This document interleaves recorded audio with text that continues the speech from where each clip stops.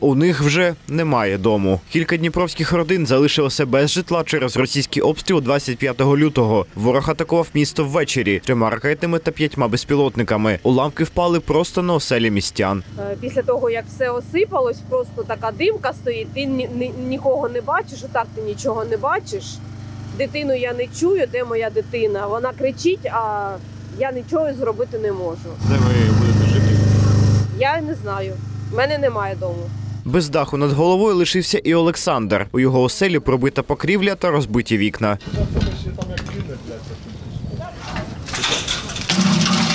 Від російської атаки постраждала дружина Олександра. Її забрала швидка. Вилітає, вона сюди летить, жінка її кинула, а я тут був. Вона сюди залетіла, вон кров. Ці двері ось злетіли. Окрім дружини Олександра, до лікарні забрали ще трьох дніпрян. Загрози їхньому життю немає, кажуть медики. Двох днями випишуть додому. Один чоловік потребує операції. Пацієнт спускався до укриття е, і дуже швидко він оступився і на фоні цього е, зламав гомілку. Е, Ті, що в нашому лікувальному закладі ем, струс головного мозку, забій м'яких тканин, е, перелом, е, закритий перелом гомілки. Е, е, Зараз наложена імобілізація, е, стан середньої важкості. е, Всі пацієнти в повній свідомості. Не спали всю ніч і жителі одного із гуртожитків Дніпра.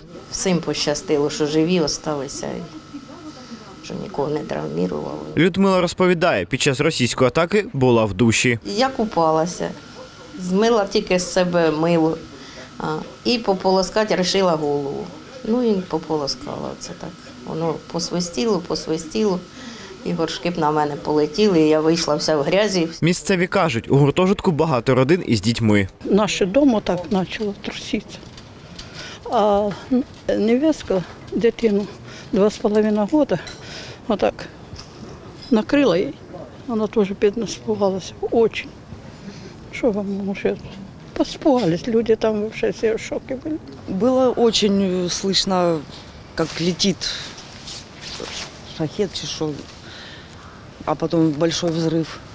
Я испугалась, за детьми побежали в убежище. Від ворожої атаки у Дніпрі постраждали понад 10 приватних будинків, кілька автівок, три п'ятиповерхівки, а саме два гуртожитки та багатоквартирний будинок. На місцях атак працюють комунальники. У багатоповерхівках замінюють 35 вікон. З утра вже в 8 годин утра наші співробітники зробили заміри вікон вибитих. І е, зараз привозиться скло вже вирізане, і зараз відбувається заміна скла. А біля понівечених приватних будинків працює спеціальна комісія. Фахівці складають акти пошкоджень майна для відшкодовування збитків. Мешканцям радять звернутися з документами до міськради і зареєструватися в дії для участі є відновлення. Данию Ніколенко, Оксана Ващенка, Юрій Смірнов, Руслан Герасименко, Open News, телеканал відкритий.